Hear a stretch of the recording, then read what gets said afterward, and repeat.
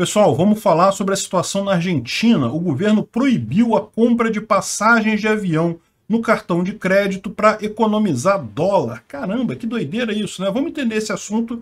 Essa notícia foi sugerida por Girafa da Barba do Peter, Éder Senna, foragido do sistema, Silvio Santos, comunista. Obrigado aí ao pessoal que sugeriu a notícia. Obrigado a você que está assistindo o nosso vídeo. Se você gosta do nosso conteúdo, por favor, deixe o seu like, se inscreva aqui no canal, né? Pois bem, vocês sabem, a Argentina já convive com inflação há muito tempo. O pessoal lá já está esperto, já sabe como é que funciona, mas aqui no Brasil também, meu amigo, não tenha dúvida não. Se a inflação voltar com vontade aqui, a gente já sabe como é que funciona o esquema, normal, padrão, facinho de se fazer. Um dos mecanismos que o pessoal usa para se proteger da inflação é recorrer a moedas mais estáveis, é passar a usar o dólar principalmente.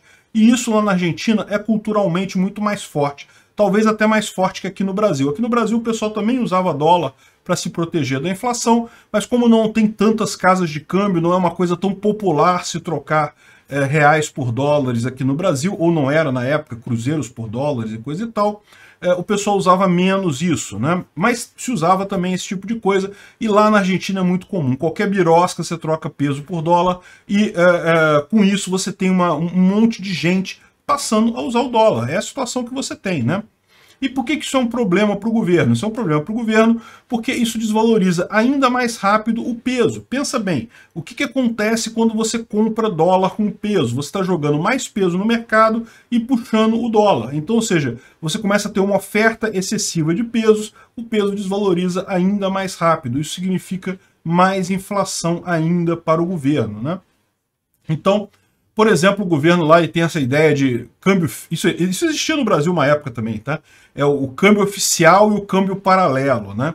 O câmbio oficial é o que o governo te dá para vender as coisas. Então, naquele câmbio, mas você só compra dólar naquele câmbio se você for peixe do governo, tiver algumas, alguns poucos casos ali que você consegue comprar dólar naquele câmbio. Ninguém na prática consegue. É só para o governo não dizer que o dólar, tá, que o peso está muito desvalorizado, né?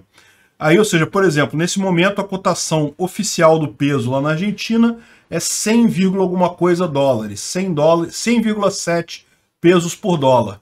Mas se você realmente quer trocar peso por dólar, a cotação é 219 pesos por dólar. Mas, no final das contas, é o paralelo que vale. Né? A outra está ali só para enfeitar, só para o governo dizer que não, não está ruim assim não, está só 100,7, né? enfim.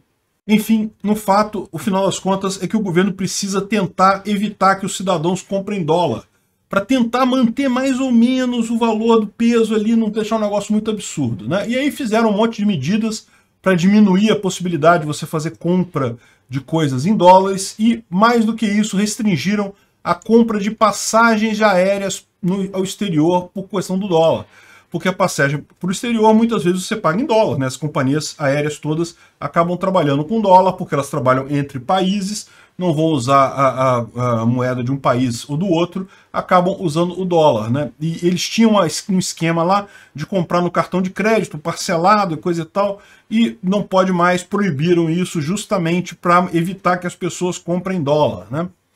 E por que isso daqui? Aí é curioso isso, né? Aí vem o pessoal, o governo, o governo tomou essa medida logo após a eleição. É igual, é igual estilo Dilma. Esperou a eleição para dar uma medida é, impopular logo em seguida, né? Enfim, e o que, por que eles estão fazendo isso? Porque tem uma negociação com a FMI aqui, tem a dívida externa da Argentina que é absurda, aquele negócio todo, eles não conseguem dólares para pagar nem os juros da dívida, então fica essa discussão toda lá, é, e eles querem dar um jeito de manter, é, de, de evitar a desvalorização lá do peso, né? E lógico, olha só, o governo está dizendo que a culpa é do Macri. Hein? O Macri já saiu há três anos do governo.